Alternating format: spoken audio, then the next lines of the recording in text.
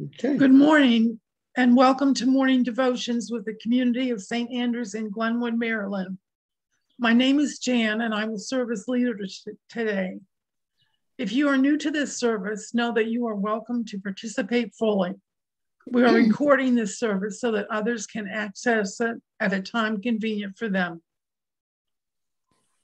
Alleluia, Christ is risen. The Lord is risen indeed. Alleluia. Let us praise our God, who has given us life and hope by raising Jesus from the dead. Let us rejoice, then, even in our distress. We shall be counted worthy when Christ appears. O God, you have claimed us as your own and called us from our darkness into the light of your day. Alleluia, Christ is risen. The Lord is risen indeed. Alleluia. Blessed are you, God of our salvation. To you be praise and glory forever. As once you ransomed your people from Egypt and led them to freedom in the promised land, so now you have delivered us from the dominion of darkness and brought us into the loving reign of the risen Christ. May we, the first fruits of your new creation, rejoice in this new day you have made and praise you for your mighty acts. Amen. Blessed be God, source of all being, eternal word, and Holy Spirit. Blessed be God forever. We're reading Acts 9 36 through 42. Now in Joppa there was a disciple whose name was Tabitha, which in Greek is Dorcas. She was devoted to good works and acts of charity. At that time she became ill and died and when they had washed her, they laid her in a room upstairs. Since Lydia was near Joppa, the disciples who heard that Peter was there sent two men to him with a request Please come to us without delay. So Peter got up and went with them. And when he stood, when he arrived, they took him to the room upstairs. All the windows stood beside him, all the widows stood beside him, weeping and showing tunics and other clothing that Dorcas had made while she was with them. Peter put all of them outside, and then he knelt down and he prayed. He turned to the body and said, Tabitha, get up. Then she opened her eyes, and seeing Peter, she sat up. He gave her his hand and helped her up. Then, calling the saints and the widows, he showed her to be alive. This became known throughout Joppa, and many believed in the Lord. What particularly strikes you in this story? Well, the first thing that strikes me is my niece's name is Dorcas. oh, really? Oh. Yep. There and, you go. Uh, and a lot of churches have Dorcas societies that are about sewing societies. Oh. Hmm. I never knew that. Yeah, interesting. Part of me is surprised that he put everybody out of the room before he prayed. Yeah. So there wasn't any, you know, corporate anointing and prayer going on, any group prayer power.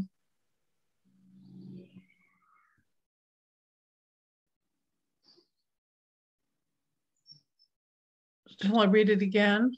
Just Peter, after denying Jesus, you know, three times, Yeah. but he was able to, wow. Wow. Yeah. I wonder why it was, sounds like it was just widows standing around. That, that may have been custom. Men wouldn't have been there with the body as they were preparing it. okay. It's my guess.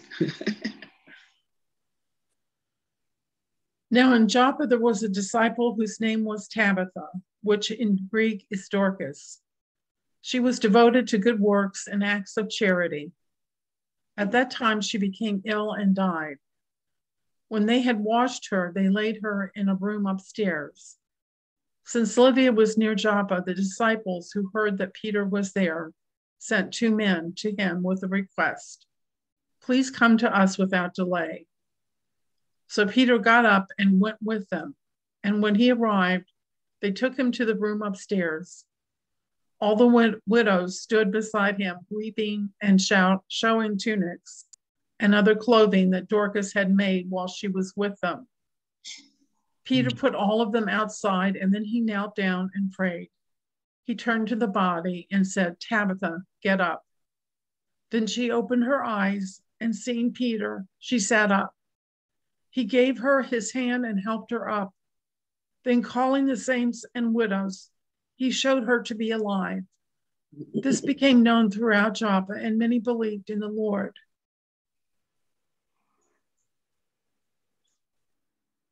I wonder what it was like to be one of the widows who came back into the room and saw her alive. Is your question to put us into the moment? um, yes, let's do that. I, I'm with the widows and looking at the clothing, I would have, that would have been comforting to me to look at the clothing that she had made. Yeah. Being a knitter, especially, would think that. I have I have clothing that I've made that my daughter said, "Don't you dare get rid of that." Not everybody has clothes that their mother made, so she wanted me to hold on to those things, and they're all packed. Oh, I still have the dress I was confirmed in. I have a a, a wraparound skirt I made years ago. That's great.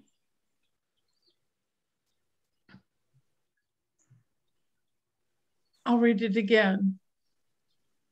Now in Joppa, there was a disciple whose name was Tabitha, which in Greek is Dorcas. She was devoted to good works and acts of charity. At that time, she became ill and died. And when they had washed her, they laid her in a room upstairs.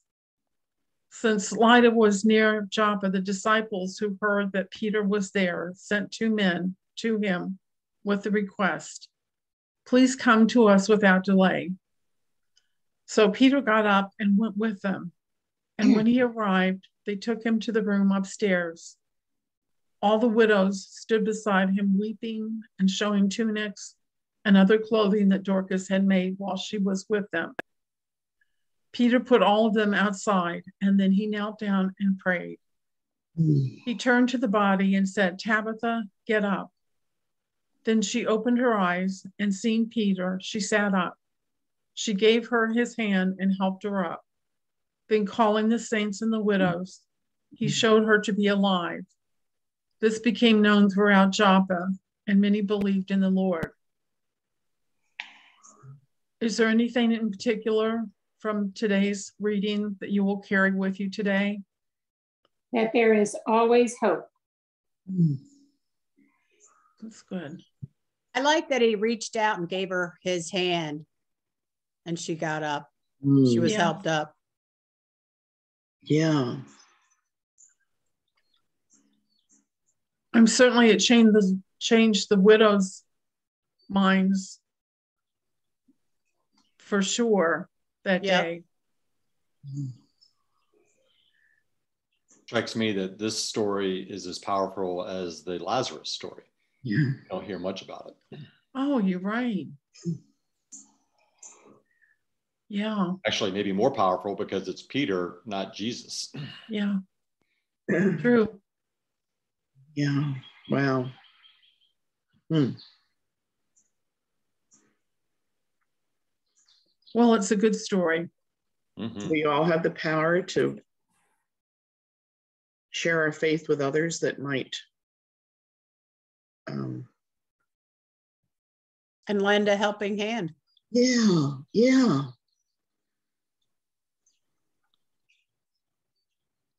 Wow. Okay, well, let's move on. Just want I just think doing that we have to be open to the possibility but not force it. Yeah, Meeting people where they are. yeah. Sure. Oh, here. Sorry. It's all right. Have control of this time. Hear what the Spirit is saying to the church. Thanks be to God. Death is swallowed up in victory. Where, O death, is your sting? Christ is risen from the dead, the first fruits of those who have fallen asleep. Death is swallowed up in victory. The trumpet will sound, and the dead shall be raised. Where, O death, is your sting? We shall not all sleep, but we shall be changed. Death is swallowed up in victory. Where, O death, is your sting?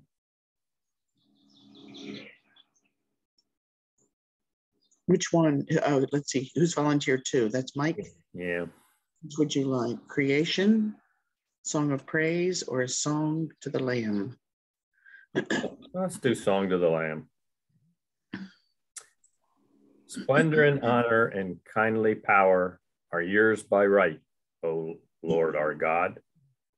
For you created everything that is, and by your will they were created and have their being.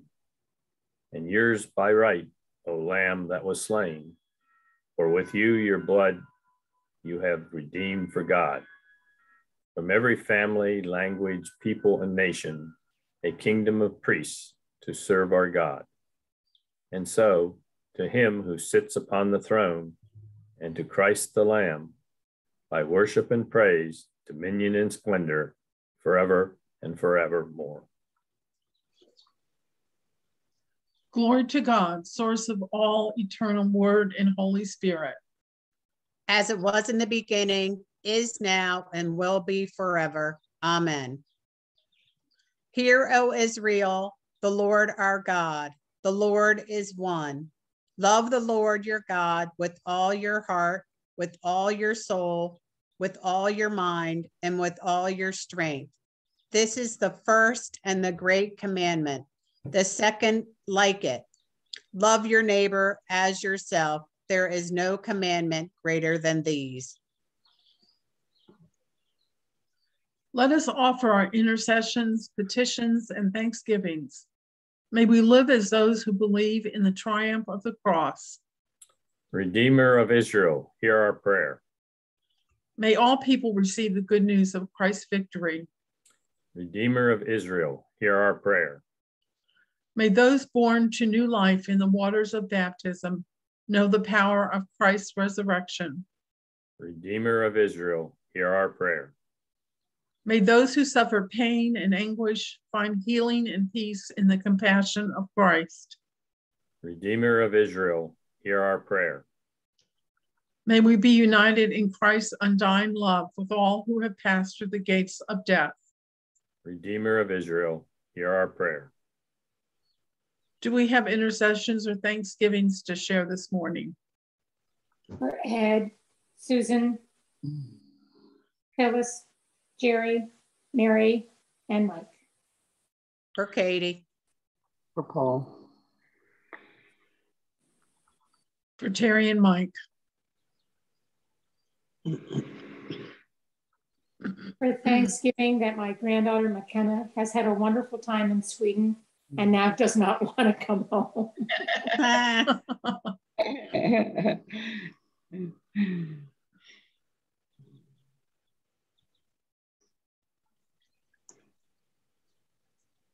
Shall we move on? Holy Shepherd, you know your sheep by name and lead us to safety through the valleys of death. Guide us by your voice so that we may walk in certainty and security to the joyous feast prepared in your house, where we celebrate with you forever. Amen. Rejoicing in God's new creation and gathering our prayers and praises into one. Let us pray as our Savior taught us. Our Father who art in heaven, hallowed be thy name.